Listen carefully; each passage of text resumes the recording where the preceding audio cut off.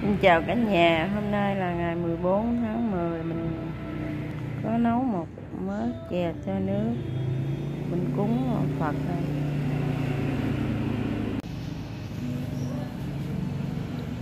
Nó mình đã nấu mấy chục viên chè này mình mình, mình cúng Phật Bữa nay gầm tháng 10 nè. Gầm lớn.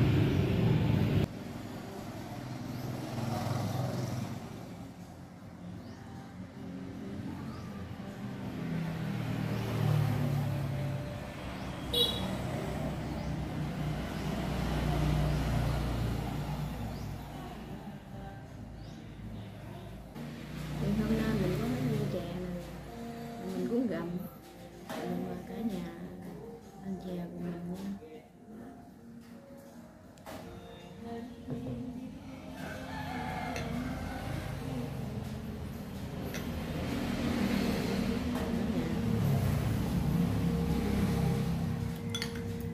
mấy viên con nước không?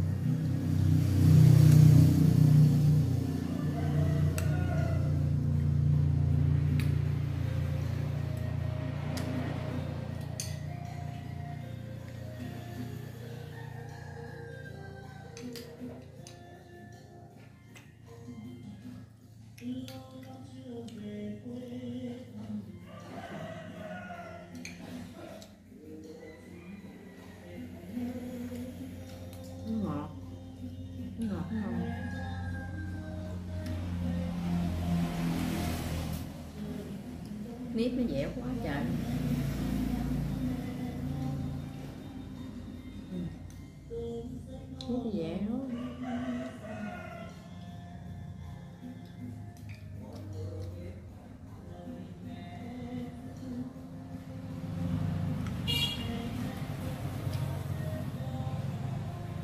Nước đường nó thơm mùi gừng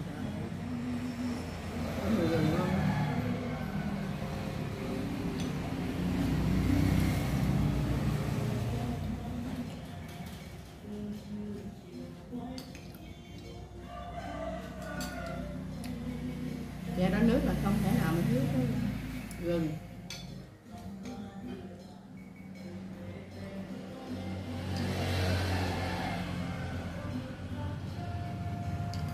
Có gừng nữa